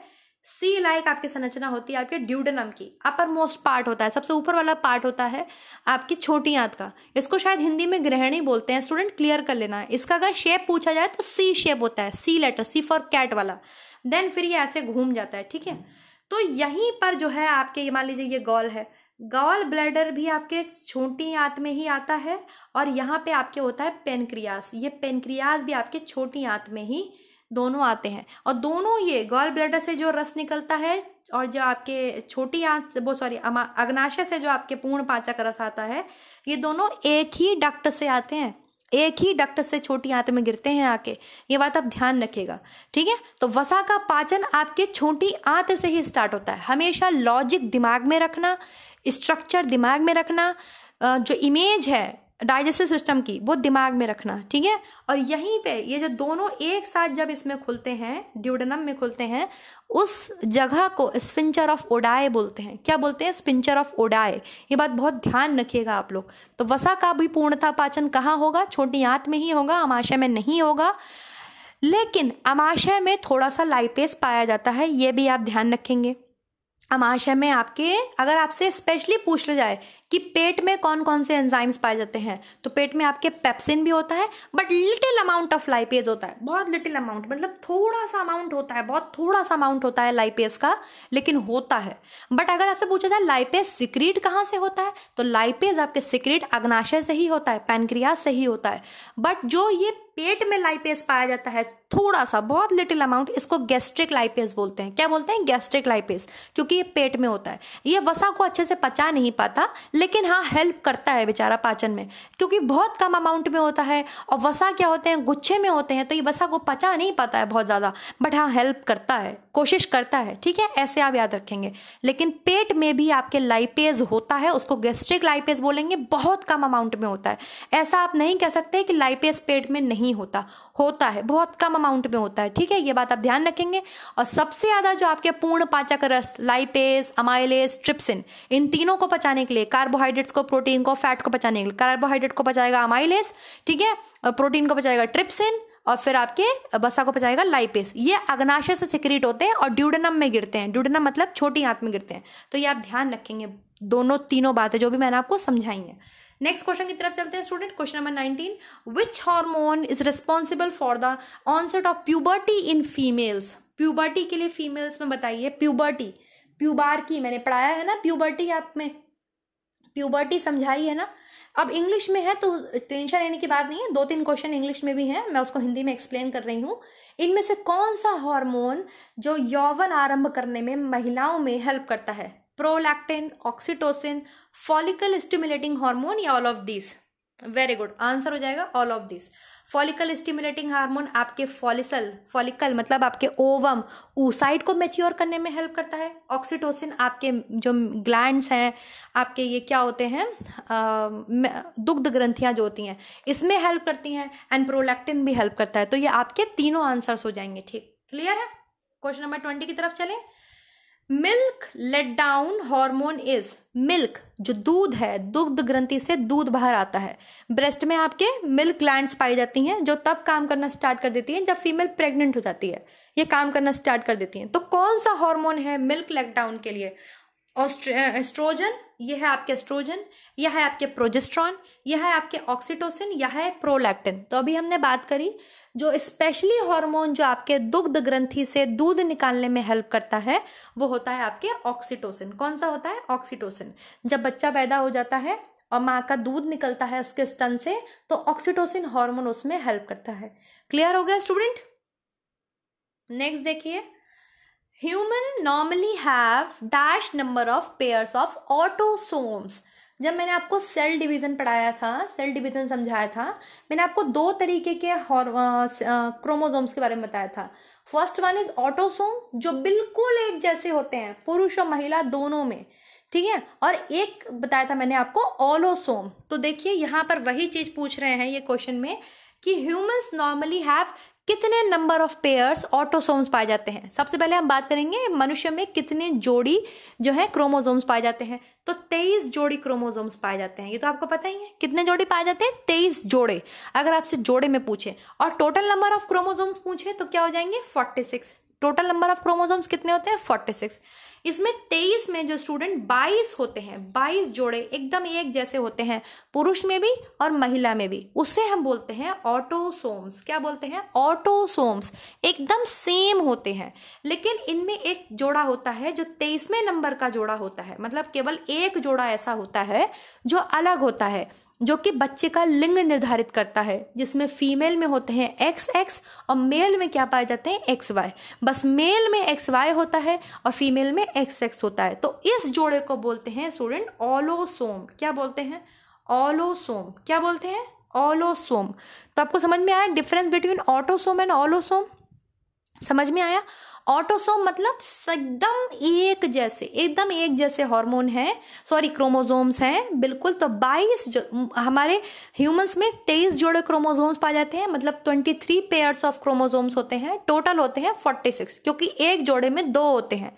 ठीक है? एक जोड़े में कितने होते हैं? दो। ठीक? उसमें से 22 होते हैं बिल्कुल एक जैसे, जिन्हें हम बोलते हैं ऑटोसोम। और तेईसवां जोड़ा अलग होता है, वो पुरुषों में होता है एक्स वाई और महिला में होता है एक्स एक्स जो बच्चे का सेक्स निर्धारित करते हैं कि बच्चा लड़का पैदा होगा या लड़की पैदा होगी। इसको बोलते हैं ओलोसोम क्या बोलते हैं तेईसवें जोड़े को? ओलोसोम तो यहाँ पर पूछ रहा है humans normally have which number of pairs of autosome मतलब कितने जो पेयर हैं, कितने नंबर जो होंगे वो आपके ऑटोसोम होंगे तो आप आंसर क्या कर देंगे आप यहाँ पर? इक्कीस में का आंसर करेंगे आप बाईस बाईस। बाईस जोड़े एकदम सेम होते हैं ह्यूमंस में फीमेल्स में मेल्स में, लेकिन जो तेईसवें नंबर का जोड़ा होता है मतलब केवल एक जोड़ा ऐसा होता है, जो अलग होता है फीमेल्स में एंड मेल्स में। क्लियर ट्वेंटी टू की तरफ़ चलते हैं। The fertilize cell is called ये टीजीटी में भी पूछा गया था, अभी आपसे लास्ट ईयर टीजीटी में ही पूछा गया है। फर्टिलाइज्ड सेल ठीक है? या आप बोल सकते हैं न्यू सेल आप फीमेल की बॉडी में जो न्यू सेल बना, जो फर्टिलाइज सेल बना, वो क्या कहलाएगा? वो एम्ब्रियो कहलाएगा यूटेरस कहलाएगा जाइगोट कहलाएगा नन ऑफ़ द अब कहलाएगा। वो आपके शाबाश, सबका आंसर एकदम करेक्ट आ रहा है। द फर्टिलाइज्ड मतलब निषेचित जो आपके कोशिका है, जिसका निषेचन हुआ है फर्टिलाइजेशन हुआ है, वो आपके कहलाएगा जाइगोट इसको आप न्यू सेल भी बोलेंगे। क्या बोलेंगे? न्यू सेल एक नया सेल बना है जाइगोट इसका पीरियड क्या होता है? ज़ीरो टू टू वीक्स लिखते चलिए। ज़ीरो टू टू वीक्स ठीक है? Zero to two weeks zygotic period होता है। And two weeks to eight weeks आपके कितना पीरियड होता है? एम्ब्रियो का पीरियड होता है। एम्ब्रियो का पीरियड होता है। इसको हिंदी में जायगोड को आई थिंक डिम्ब अवस्था बोलते हैं या बीजा अवस्था बोलते हैं, है ना? डिम्ब अवस्था या बीजा अवस्था? और एम्ब्रियो को आपके क्या बोलते हैं? भ्रूणीय अवस्था बोलते हैं, भ्रूणीय। और आपके फीटस जो आपके एट वीक्स टू वर्थ होता है एट वीक्स टू वर्थ वो कंप्लीट गर्भस्थ शिशु की अवस्था बोलते हैं, उसको पीरियड ऑफ़ फीटस बोलते हैं। मैं आपको एक टॉपिक पढ़ाऊँगी लेयर्स ऑफ़ फीटस जो कि पूछा भी गया था लास्ट ईयर और मैंने भी इसमें टीजीटी में पूछा गया था, मैंने भी ऐड कराया वो क्वेश्चन और मैं वो पढ़ाऊँगी भी। लेयर्स ऑफ़ फीटस फीटस की कौन कौन सी लेयर्स होती हैं जिसमें फीटस आपके रहता है? क्लियर है? समझ में आ गया? और ये फर्टिलाइजेशन वाला टॉपिक तो मैंने पढ़ाया हुआ है। ओवल्यूशन टू फर्टिलाइजेशन आप पढ़ सकते हैं। क्वेश्चन नंबर ट्वेंटी थ्री की तरफ़ चलते हैं। Where does the process of fertilization take place in human body मनुष्य के शरीर में कहाँ पर, किस जगह पर फर्टिलाइजेशन की प्रक्रिया, निषेचन की प्रक्रिया संभव होती है या हो पाती है? बताइए कहाँ पर? यूटरस मतलब गर्भाशय में फैलोपियन ट्यूब मतलब निषेचन नली में ओवरी मतलब अंडाशय में, वजाइना मतलब योनि में। हिंदी में भी मैं बता रही हूँ, इंग्लिश में भी बता रही हूँ। बताइए, जो निषेचन की प्रक्रिया है, निषेचन मतलब आपके, निषेचन ऐसे लिखते हैं ना हाँ। निषेचन फर्टिलाइजेशन ये कहाँ पर हो पाता है? फीमेल्स में होता है स्पेशली तो आपको पता ही है। जब स्पाम एंटर करते हैं महिला के अंदर, फिर उसका ओवम मिलता है तो कहाँ पर मिलते हैं? हाँ बिल्कुल वेरी गुड सबका आंसर एकदम करेक्ट आ रहा है। Fallopian tube which part of fallopian tube comment करिए फटाफट। In which part of fallopian tube ये मैंने पढ़ाया है, मैंने समझाया है, मुझे पता है। फेलोपियन ट्यूब में तो होते हैं, लेकिन अगर मैं पूछूँ फेलोपियन ट्यूब के भी किस पार्ट में होते हैं? किस पार्ट में? फेलोपियन ट्यूब के चार पार्ट होते हैं। ठीक है? इन्फेंडिबुलम इस्थमस एम्पिला फिम्ब्राय तो किसमें होते हैं? वेरी गुड एम्पिला पार्ट में। कहाँ पर होते हैं? एम्पुला पार्ट में। एम्पुला पार्ट होता है जिसमें आपके ओवम और आपके स्पम दोनों मिलते हैं और एक न्यू सेल बनता है ज़ीरो डे से उसको काउंट करते हैं जाइगोट क्या बनता है आपके? जाइगोट ठीक है, समझ में आ गया? क्वेश्चन नंबर ट्वेंटी फोर की तरफ़ चलते हैं। The function that is not influenced by estrogen estrogen किसका हार्मोन है? महिला सेक्स हार्मोन है। हमने पढ़ाया है आपको। एफ़ एस एच जो है आपके फॉलिसल स्टिमुलेटिंग हार्मोन जो कि, और ल्यूटिनाइजिंग हार्मोन जो कि आपके पिट्यूटरी ग्लैंड के आगे वाले भाग से निकलते हैं। पिट्यूटरी ग्लैंड जो कि master gland of the body है, इस तरीके से होती है। ये इसका आगे वाला भाग होता है, ये इसके पीछे वाला भाग होता है। आगे वाले भाग से इसके F S H L H T S H बहुत सारे हॉर्मोन्स निकलते हैं, ठीक है? एफ़ एस एच और एल एच मतलब फॉलिसल स्टिमुलेटिंग हार्मोन जो फॉलिकल ओवम को आपके स्टिमुलेट करता है मतलब मेच्योर करता है, और ल्यूटिनाइजिंग हार्मोन जो आपके ल्यूटियल फेस को मेच्योर करता है, जब मैंने आपको मेंस्ट्रुएशन पढ़ाया था, उसमें समझाई है हर एक चीज़। ये दोनों निकलते हैं और ये दोनों जाके फीमेल की ओवरी पे काम करते हैं। जबकि दोनों फीमेल की ओवरी पे काम करते हैं तो आपके एफ़ एस एस से निकलता है एस्ट्रोजन और एल से निकलता है प्रोजेस्ट्रॉन एल से कौन सा हार्मोन आपके सिक्रेट होता है? प्रोजेस्ट्रॉन दोनों फीमेल की ओवरी पे काम करते हैं। तो बताइए, जो एस्ट्रोजन है, ठीक है, एस्ट्रोजन आपको ई e एस से भी मिलेगा स्पेलिंग इसका और ओ एस से भी मिलेगा। तो कभी भी परेशान मत होना, ये एक ही चीज़ है, ठीक है? एस्ट्रोजन या ओस्ट्रोजन आपको एक ही चीज़ है, ये चीज़ समझ के चलना है। इज़ नॉट कौन सा फ़ंक्शन नहीं है एस्ट्रोजन का फीमेल बॉडी में। Release of egg from the ovaries अंडाशय को से मतलब ओवरीज से जो है, अंडे निकालना इसका फ़ंक्शन है कि नहीं है, बताओ। फॉर्मेशन ऑफ़ स्पम्स स्पम्स जो है, शुक्राणु है, इसके बनाने का काम है इसका या नहीं है? Development of the breast breast जो होती हैं, उसको इसको डेवलप करने का काम है या नहीं है? मेंस्ट्रुअल साइकिल मतलब मासिक स्त्राव, इसका करने का काम है या नहीं है? पहली बात एस्ट्रोजन आपके फीमेल सेक्स हार्मोन है तो ये मेंस्ट्रुअल साइकिल में भी हेल्प करता है। ये ब्रेस्ट के डेवलपमेंट में भी हेल्प करता है, ये एग को रिलीज़ करने में भी हेल्प करता है ओवरी से। लेकिन ये फॉर्मेशन ऑफ़ स्पम्स नहीं करता, क्योंकि फॉर्मेशन ऑफ़ स्पम किसका काम है? मेल्स का काम है। पुरुषों के शरीर में होता है स्पम का फॉर्मेशन महिलाओं के शरीर में नहीं होता। और उसके लिए रेस्पॉन्सिबल होता है टेस्टोस्टेरॉन ठीक है? नॉट एस्ट्रोजन क्लियर हो गया? चलिए। नेक्स्ट क्वेश्चन चलते हैं question number twenty five in the menstrual cycle जो मेंस्ट्रुअल साइकिल होती है, मासिक स्त्राव होता है lowering of which hormone cause menstruation ऐसा क्या होता है? कौन सा हार्मोन इतना लो हो जाता है कि ब्लीडिंग आ जाती है मेंस्ट्रुअल साइकिल आ जाती है? पूरी मेंस्ट्रुअल साइकिल में मैंने ये चीज़ आपको पढ़ाई हुई है। कि कब कब जो आपके एस्ट्रोजन और प्रोजेस्ट्रॉन जो दोनों हार्मोन होते हैं, इनका लेवल कब आपके ऊपर होता है, कब आपके ऊपर जाता है, कब आपके नीचे जाता है, पूरा मैंने आपको समझा है। तो बताइए कौन सा हार्मोन रिस्पॉन्सिबल है आपके स्पेशली मेंस्टुरल लाने में पीरियड्स लाने में? कौन सा हार्मोन रिस्पॉन्सिबल है? प्रोजेस्ट्रॉन थायरोक्सिन एस्ट्रोजन या फॉलिकल स्टिमुलेटिंग हार्मोन आंसर करिए फटाफट से। जिन्होंने मेंस्ट्रुअल साइकिल पढ़ रखा होगा अच्छे से, वो इसका आंसर कर पाएँगे। रटने वाले बच्चे नहीं कर पाएँगे। इसका आंसर होगा आपकी प्रोजेस्ट्रॉन प्रोजेस्ट्रॉन जैसे ही आपके ग्राफियन फॉलिकल रप्चर हो जाता है ग्राफियन फॉलिकल वो फॉलिकल होता है जो पूरा मेच्योर्ड होता है रप्चर हो जाता है रप्चर मतलब फट जाता है और आपके ऊ साइड जो ओवम है वो बाहर निकल जाता है। जब वो ओवम बाहर निकल जाता है तो उसके रपचर उसके टुकड़े क्या बन जाते हैं? कार्पस ल्यूटियम बन जाते हैं। अब दो कंडीशन होती हैं फीमेल के शरीर में उस समय। या तो वो फर्टिलाइज हो जाएगा एग जो आपके ओवरी से निकल गया, और आपके फेलोपियन ट्यूब ने उसको सक कर लिया। तो फेलोपियन ट्यूब में या तो वो क्या होगा? आपके फर्टिलाइज होगा। ठीक है? और या फिर वो क्या होगा? फर्टिलाइज नहीं होगा, उसको स्पम नहीं मिलेगा। तो प्रोजेस्ट्रॉन जो होता है, ये प्रेगनेंसी को सपोर्ट करता है। प्रोजेस्ट्रॉन किसको सपोर्ट करता है? प्रेगनेंसी को। अगर प्रेगनेंसी होगी तो प्रोजेस्ट्रॉन उसको सपोर्ट करेगा। ठीक है? और अगर जब फर्टिलाइजेशन ही नहीं हुआ तो बेचारे प्रोजेस्ट्रॉन का लेवल जो हाई था ल्यूटियल स्टेज में, वो कैसा हो जाएगा? बिल्कुल गिर जाएगा। एस्ट्रोजन का भी गिर जाएगा प्रोजेस्ट्रॉन का भी गिर जाएगा। लेकिन ल्यूटियल फेस में आपके प्रोजेस्ट्रॉन का लेवल सबसे हाई होता है और वो गिर जाएगा जिस वजह से क्या हो जाएगा? जो आपके एंडोमेट्रियम लेयर होती है यूट्रस की ब्लड की होती है, मैंने आपको बताया है, उसकी थिकनेस जो होती है वो कम हो जाएगी, वो शेड हो जाएगी और ये जो ओवम बना है, ये जो ओवम होता है, ये भी क्या हो जाएगा? रप्चर हो जाएगा, खत्म हो जाएगा। क्लियर है? तो प्रोजेस्ट्रॉन रिस्पॉन्सिबल होता है आपके मेंस्ट्रुअल साइकिल लाने के लिए मेंस्ट्रुअल साइकिल को, जो आपके पीरियड्स हैं, उसको लाने के लिए। क्लियर है? क्योंकि प्रोजेस्ट्रॉन ही प्रेगनेंसी को सपोर्ट करता है। क्लियर अगर प्रेगनेंसी हो गई, या ओवम फर्टिलाइज हो गया तो कभी भी मेंस्ट्रुअल नहीं आएगी। नॉर्मल हम फीमेल की बात कर रहे हैं। प्रोजेस्ट्रॉन सपोर्ट करेगा प्रेगनेंसी को आगे। क्लियर नेक्स्ट क्वेश्चन की तरफ़ चलते हैं question number twenty six which of the following is not a part of female reproductive system अब ये क्वेश्चन हिंदी में भी पूछे जाते हैं, मैंने इंग्लिश में लिख लिए हैं तो हिंदी वाले परेशान ना हो, मैं एक एक चीज़ को हिंदी में बता रही हूँ। सेम ये क्वेश्चन आपके एग्ज़ाम में आते हैं। इनमें से बताइए कौन सा जो है फीमेल रिप्रोडक्टिव सिस्टम का भाग नहीं है? मतलब महिला प्रजनन तंत्र का भाग नहीं है। मैंने पूरा महिला प्रजनन तंत्र आपको पढ़ाया हुआ है, आप पढ़ सकते हैं यूट्यूब पे ही पढ़ाए फ्री ऑफ़ कॉस्ट सब कुछ। आप पढ़ सकते हैं। बताइए, अब पेयर ऑफ़ ओवरीज बिल्कुल ओवरीज पेयर में होती है, ये बात ध्यान रखना। एक इधर होती है और एक आपके इधर होती है। ओवरीज पेयर में होती हैं। एक महीने एक ओवरी काम करती है, दूसरे महीने दूसरी ओवरी काम करती है, ये बात ध्यान रखना। पेयर्स में होती हैं ओवरीज ठीक है? स्पम डक्ट जिससे स्पम निकलते हैं, वो डक्ट यूटरस या ओवीडक्ट ये जो ओवरीज होती हैं, ये ओवीडक्ट के थ्रू जुड़ी होती हैं यूटरस से। कुछ इस तरीके का डिज़ाइन होता है। ऐसा। ठीक है? ये होती हैं, लेकिन ये जुड़ी होती हैं ओविडक्ट ऐसे करके यूटरस से जुड़ी होती हैं।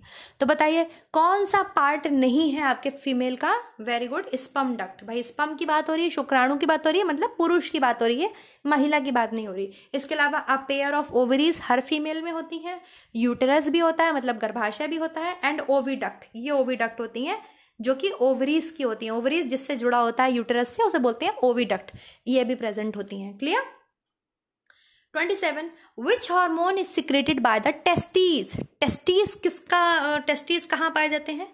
टेस्टीज आपके पुरुष में पाए जाते हैं। वृषण बोलते हैं इसे हिंदी में। क्या बोलते हैं? वृषण ठीक? तो कौन सा हार्मोन्स इसमें सिक्रेट होता है? टेस्टोस्टेरॉन प्रोजेस्ट्रॉन टीएसएच इंसुलिन बताइए।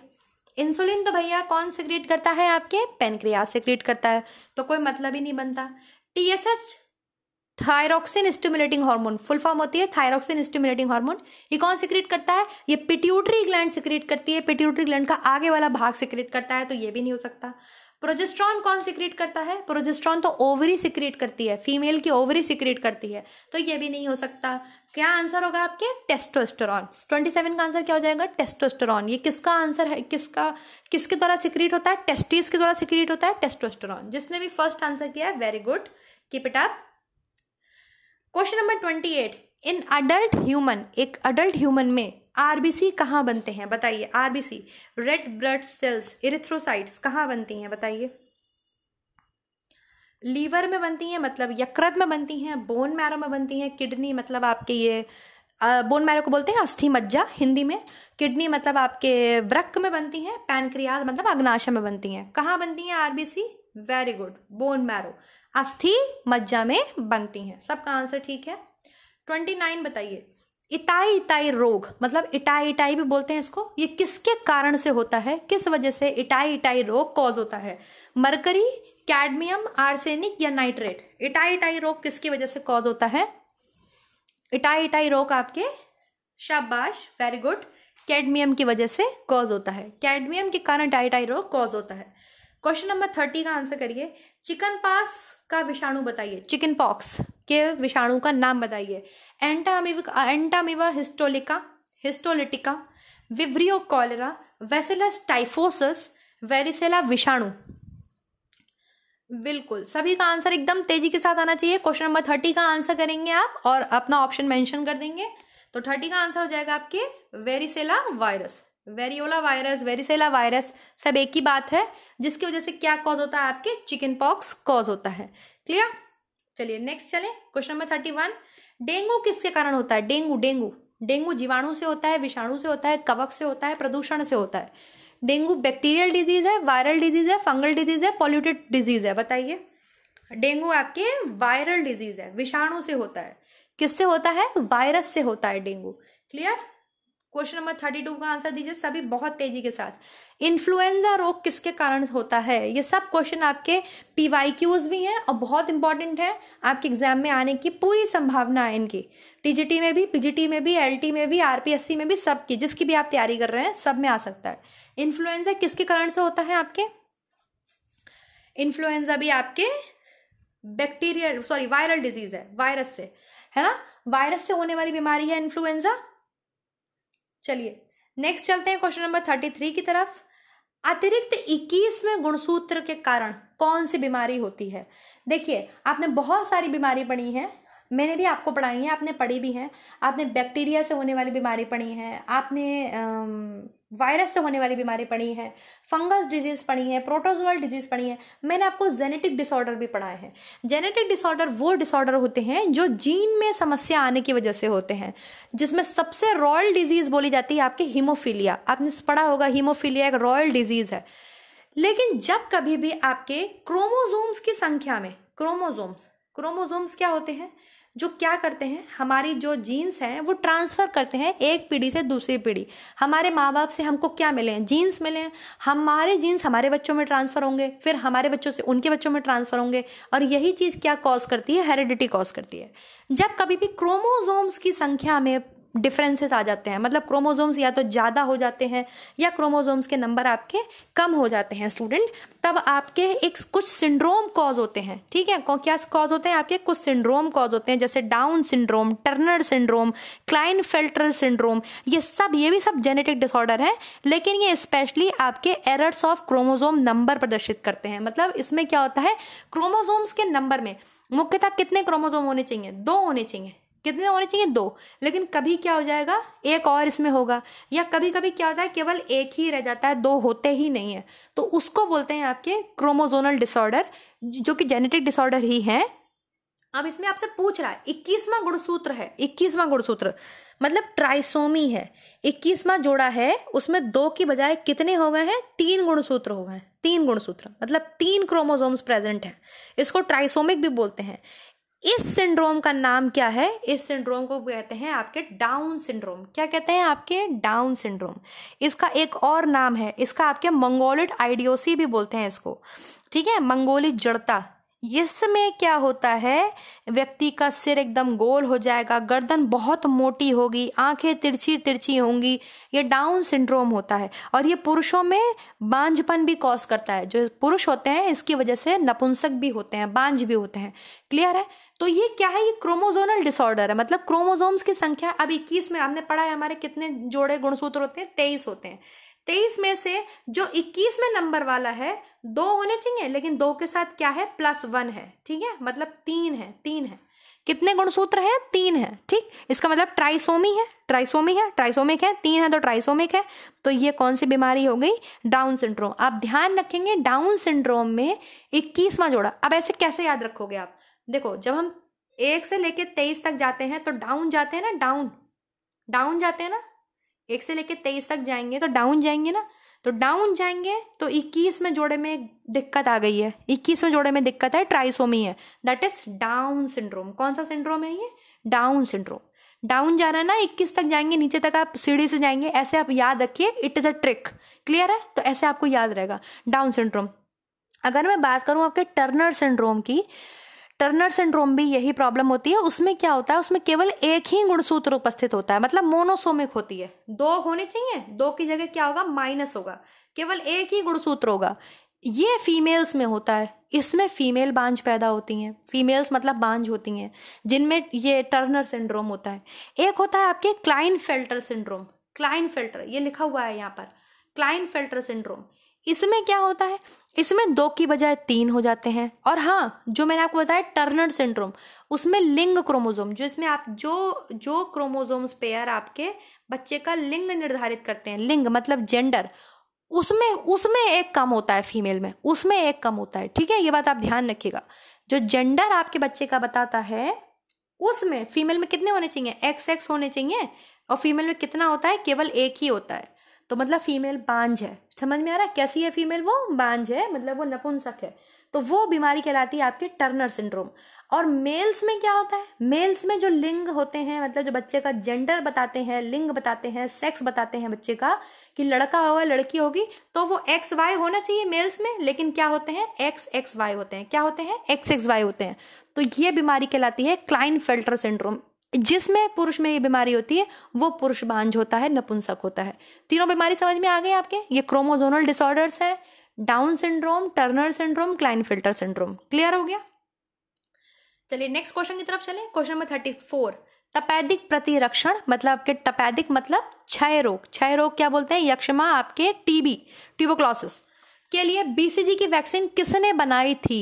ऑप्शंस हैं आपके सामने Edward Jenner Jonas Salk Albert Sabin Albert Calmette Camille Guerin Camille Guerin और लुइस पास्चर किसने बनाई है ये आपके बीसीजी वैक्सीन बीसीजी वैक्सीन आपके बनाई है। Very good Albert Calmette Camille Guerin that's why BCG की फुल फॉर्म है बेसिलेस कालमेट ग्यूरिन क्या नाम है बेसिलेस कालमेट ग्यूरिन बीसीजी की? क्योंकि इसको बनाया है अल्बर्ट कैलमेट ने और कैमिली ग्यूरिन ने। क्लियर हो गया? चलिए next question thirty five number BCG की वैक्सीन आप किस बीमारी की रोकथाम के लिए देते हैं? टीबी हेपेटाइटिस हैजा या धनु स्तंभ बीसीजी की वैक्सीन किसके लिए दी जाती है? तो हमने पढ़ा है टीबी जिसे आप तपैदिक बोलते हैं, यक्षमा बोलते हैं, क्षय रोग बोलते हैं ट्यूबोक्लोसिस बोलते हैं, जो कि माइकोबैक्टीरियम ट्यूबोक्लोसिस से कॉज होती है, उसके लिए बच्चों को बीसीजी की वैक्सीन जन्म के तुरंत बाद देनी चाहिए। जन्म के तुरंत बाद देनी चाहिए। Clear question number thirty six का आंसर सब फटाफट करेंगे। निम्नलिखित में से कौन सा बैक्टीरिया हैजा का कारण है? हैजा मतलब कॉलरा। कौन सा बैक्टीरिया है जिसकी वजह से हैजा होता है? कोकस, गोलाणु, स्पिरिलम, कुंडिकत कीटाणु बिवरियो या बैसिलस? तो वेरी गुड सबका आंसर एकदम सही है। थ्री ऑप्शन विवरियो, कॉलरी, जो कि आपके क्या कॉज करता है? कॉलरा, हैजा कॉज करता है। क्वेश्चन नंबर थर्टी सेवन देखेंगे सब। निम्नलिखित में से कौन सा जल जनित बीमारी का एक उदाहरण है? मतलब वाटर बॉन्ड डिज़ीज़ है। डिप्थीरिया टॉन्सिल अतिसार, खसरा। फटाफट से बताइए वाटर बॉन्ड डिज़ीज़ है आपके? अतिसार। अगर ऐसे आपसे पूछ लिया जाए वाटर बॉर्न डिज़ीज़ कौन कौन सी है तो आपके टाइफाइड आपके जल जनित बीमारी है, हैजा आपके जल जनित बीमारी है हेपेटाइटिस आपके जल जनित बीमारी है, और आपके अतिसार डायरिया आपके जल जनित बीमारी है। मतलब जल से फैलने वाले रोग हैं। वैसे आपके जो है, हैजा आपके भोजन से भी फैलता है, ये भी आप ध्यान रखेंगे। लेकिन स्पेशली जैसे लास्ट ईयर कैटेगरी पूछी गई थी तो उसमें जल ऑप्शन आंसर सही था, और आयोग ने भी जल ही आंसर दिया था। जल जनित बीमारी है। आप दो कैटेगरी बनाएँगे। एक तो जल जनित बीमारी के और एक वायु जनित बीमारी के, ठीक है? वायु से फैलने वाले रोग। तो वायु में आपके आ जाता है? टीबी ट्यूबोक्लोसिस जो कि वायु के द्वारा संचारित होता है। क्लियर है? थर्टी एट का आंसर बताइए। लास्ट अभी हमने वीडियो में पढ़े हैं। संसद के किस अधिनियम के तहत जो महात्मा गांधी राष्ट्रीय ग्रामीण रोज़गार गारंटी योजना है वो अस्तित्व में आई थी? मनरेगा आपके अस्तित्व में आई थी सामने आई थी। संसद में कब वो अधिनियम पारित हुआ था? लास्ट ही वीडियो में मैंने आपको चार डेट्स याद कराई थी मनरेगा से। 2005, 2006, 2008 और 2009 2007 उसमें नहीं था। तो कौन सा इसमें ऑप्शन सही हो जाएगा? वेरी गुड शाबाश। जिसका आंसर है option number three Mahatma Gandhi राष्ट्रीय ग्रामीण रोज़गार गारंटी अधिनियम 2005 हालाँकि ये पहले नरेगा था 2009 में ये मनरेगा हुआ है, लेकिन अभी इसको मनरेगा ही करके हम इसको फॉलो कर रहे हैं। तो पहले 2005 में संसद में ये पारित हुआ 2006 में ये लागू हुआ आंध्र प्रदेश में, फिर ये 200 ज़िले में लागू हुआ, फिर 2008 में नरेगा पूरे देश में लागू हुआ 2009 में इसका नाम मनरेगा कर दिया गया। तो आप ध्यान रखेंगे। क्लियर है? बिल्कुल सही। जिसका ऑप्शन नंबर थ्री है, एकदम सही। क्वेश्चन नंबर थर्टी नाइन, प्रधानमंत्री उज्ज्वला योजना शुरू की गई। प्रधानमंत्री उज्ज्वला योजना शुरू की गई। बताइए कब? जुलाई 2017 जनवरी 2018 मई 2014 या मई 2016 तो इसका आंसर क्या हो जाएगा आपके? प्रधानमंत्री उज्ज्वला योजना कब शुरू की गई? मई 2016 में। जिसमें आपके गैस कनेक्शन लेडीज़ को बांटे गए थे। उज्ज्वला योजना, प्रधानमंत्री उज्ज्वला योजना कब शुरू हुई? मई 2016 में। ठीक है? क्वेश्चन नंबर फोर्टी की तरफ़ चलते हैं। निम्नलिखित में से कौन सा एक ऐसा प्रमुख संस्थान है इंस्टीट्यूशन है, जो भारत में ग्रामीण विकास पर मतलब ग्रामीण विकास पर प्रशिक्षण देता है ट्रेनिंग देता है और अनुसंधान करता है मतलब रिसर्च करता है, ग्रामीण विकास के लिए ट्रेनिंग देता है रिसर्च करता है, बताइए। राष्ट्रीय ग्रामीण संस्थान है, राष्ट्रीय ग्रामीण विकास संगठन है, राष्ट्रीय ग्रामीण विकास और पंचायती राज संस्थान है या ग्रामीण विकास संस्थान है, बताइए। इनमें से कौन सा ऐसा संस्थान है जो ग्रामीण विकास रूरल डेवलपमेंट के लिए ट्रेनिंग प्रशिक्षण देता है और अनुसंधान करता है। इसका ऑप्शन क्या हो जाएगा? इसका ऑप्शन होगा आपके ऑप्शन नंबर थ्री राष्ट्रीय ग्रामीण विकास और पंचायती राज संस्थान। ठीक है? अब इसको खोजो, ये कहाँ है? इसकी स्थापना कब हुई? इस समय वर्तमान में ये भारत में किस राज्य में स्थित है? ये आपका होमवर्क है आज का। आप करेंगे कमेंट करेंगे मुझे। वो बच्चे कमेंट करेंगे जो सीरियसली पढ़ रहे हैं, वो मुझे बताएँगे ये कहाँ पर है okay question number forty one की तरफ़ चलते हैं। पीयूष ग्रंथि पीयूष ग्रंथि अपने प्रेरक हार्मोन की वजह से अन्य अंतस्त्रावी ग्रंथियों की स्त्रावी सक्रियताओं को नियंत्रित करती है। पीयूष ग्रंथि मतलब pituitary gland master gland of the body है, आपको पता है। ये अपने में से ऐसे हार्मोन्स निकालती है, ये ऐसे हार्मोन्स निकालती है जो अदर जो हमारे बॉडी में ग्लैंड्स हैं, उसको भी ये मतलब वो करती है कंट्रोल करती है। लाइक like जैसे ये टीएसएच निकालती है तो ये थायरॉक्सिन थायराइड ग्लैंड को कंट्रोल करती है। आपके F S H L H निकाल रही थी तो ये ओवरीज को कंट्रोल कर रही थी फीमेल्स की। इसीलिए इसको master gland of the body बोलते हैं, क्योंकि ये सारी ग्रंथियों को कंट्रोल करती है, ठीक है? लेकिन इनमें से एक ऐसी ग्रंथि है जो पीयूष ग्रंथि से भी स्वतंत्र कार्य कर सकती है। इनमें से कौन सी एक ऐसी अंतस्त्रावी ग्रंथि है? अंतस्रावी ग्रंथि मतलब आपके एंडोक्राइन ग्लैंड है, जो आपके पीयूष ग्रंथि से अलग होकर के काम कर सकती है। बताइए, अवटू जनन ग्रंथि अधिवृक ग्रंथि या परावटु? अवटू मतलब आपके थायराइड ग्लैंड जनन मतलब आपके गोनाड ग्लैंड्स अधिवृक मतलब आपके एड्रिनल ग्लैंड जो कि आपके गुर्दे के ऊपर पाई जाती हैं और दो होती हैं ये। परावटू मतलब आपके पैराथायरॉयड ग्लैंड इसका आंसर दीजिए फटाफट से। पीयूष ग्रंथि बहुत सारे ऐसे हॉर्मोन्स निकालती है, जो दूसरी आपके जो अंदर ग्रंथियाँ हैं, आपके अंदर बहुत सारी ग्रंथियाँ हैं। अंतरस्रावी ग्रंथि आपने पढ़ी होगी thyroid parathyroid adrenal pineal pituitary hypothalamus बहुत सारी ग्लैंड्स हैं। इनमें से कौन सी ऐसी ग्रंथि है, जो पीयूष से अलग होकर भी, स्वतंत्र रहकर भी काम कर सकती है?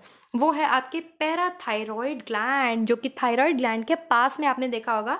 कुछ इस तरीके से स्ट्रक्चर होता है थायराइड ग्लैंड का, और इसमें ये चार पाई जाती हैं कोने पे, ठीक है? पैराथायरॉयड ग्लैंड पैराथायरॉयड ग्लैंड जो होती है आपके पैराथॉर्मोन सिक्रिएट करती है। कौन सा हार्मोन सिक्रिएट करती है? पीटीएच पैराथॉर्मोन, ठीक है? और बहुत इंपॉर्टेंट काम करता है पैराथॉर्मोन आपकी बॉडी के अंदर।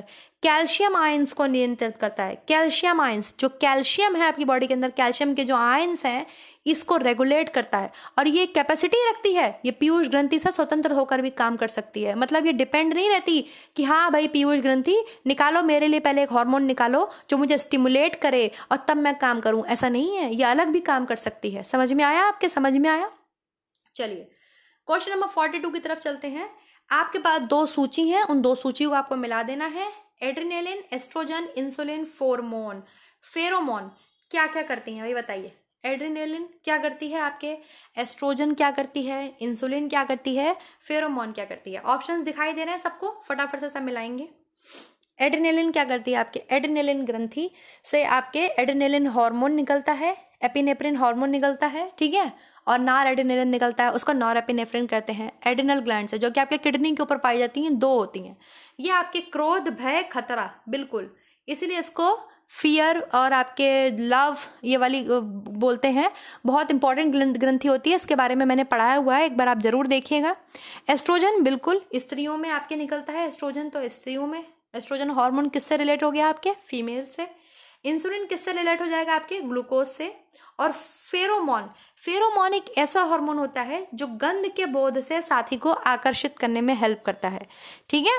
तो ये इससे मिल जाएगा आपके। क्लियर हो गया? समझ में आ गया? तो क्या ऑप्शन बन जाएगा हमारे? One three then four then two option number C one three four and two D किससे मिल जाएगा आपके? टू से मिल जाएगा। सब मिला लिया सबने देख लिया? नेक्स्ट क्वेश्चन की तरफ़ बढ़े?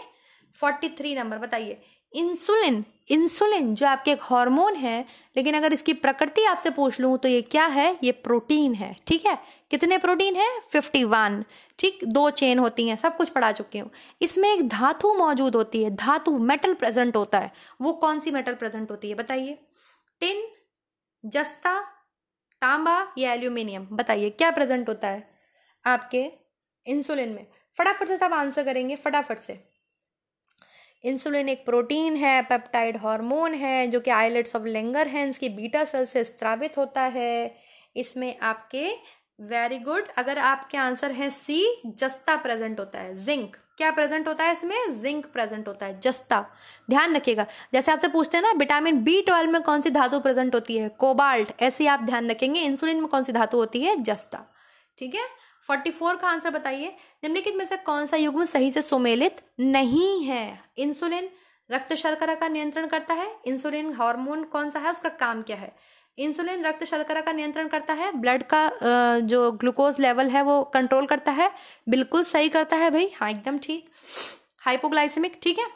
मेलाटोनिन मेलाटोनिन हार्मोन जो आपके पीनियन ग्लैंड से निकलता है पीनियन ग्लैंड जो कि आपके दिमाग में होती है, निद्रा का नियंत्रण करती है एकदम। जैसे आप अंधेरा करेंगे, आपको नींद आती है because of melatonin hormone oxytocin आपके स्तन ग्रंथि से दूध का निसरण करता है। अभी हमने लास्ट भी पढ़ा, एकदम सही है। ऑक्सीटोसिन आपके मिल्क ग्लैंड से मिल्क को सिक्रेट करने में हेल्प करता है। गैस्ट्रिन रक्तचाप का नियमन करता है। गैस्ट्रिन आपके रक्तचाप का नियमन करता है।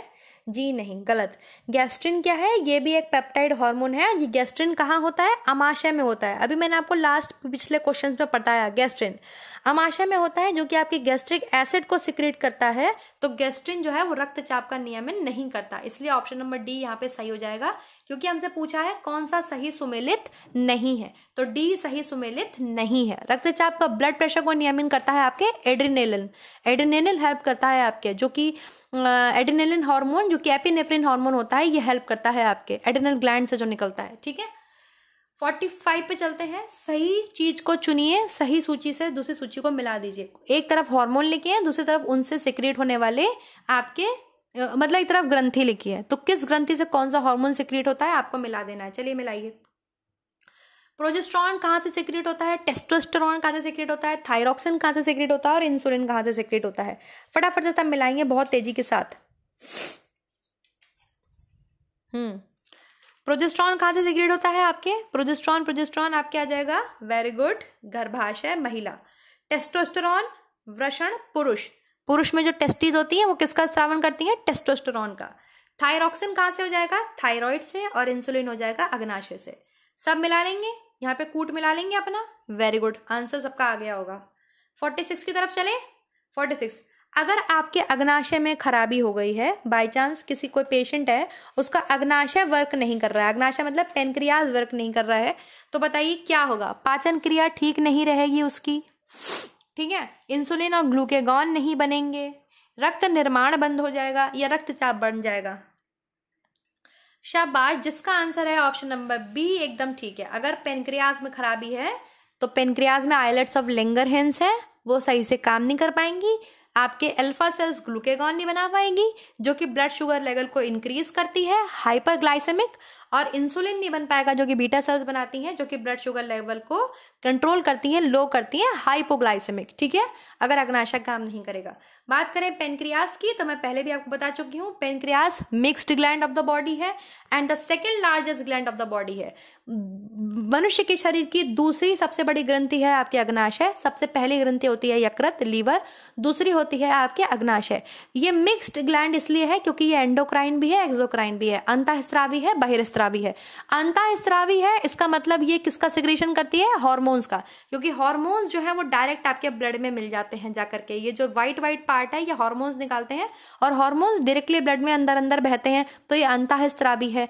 बहिर्स्त्रावी ये इसलिए है, बहिर्स्त्रावी मतलब ये डक्ट में बहते हैं। डक्ट में आपके क्या बहते हैं? एंजाइम्स बहते हैं। ब्लड में डायरेक्ट क्या बहते हैं? हॉर्मोन्स बहते हैं। डक्ट में क्या बहते हैं आपके? एंजाइम्स बहते हैं।